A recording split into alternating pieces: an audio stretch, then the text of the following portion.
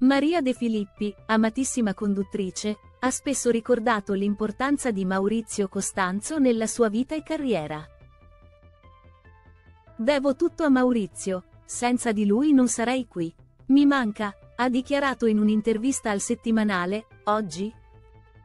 La sua perdita ha lasciato un vuoto che oggi cerca di colmare con l'amore per il figlio Gabriele, che lavora con lei a Witty TV.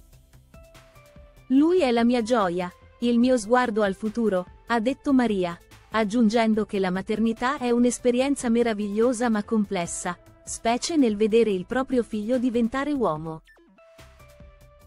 De Filippi domina la scena televisiva con programmi di successo come Uomini e donne e C'è posta per te, ma ammette che la pressione a volte è tanta. Vorrei prendere la vita con più leggerezza, non avere impegni.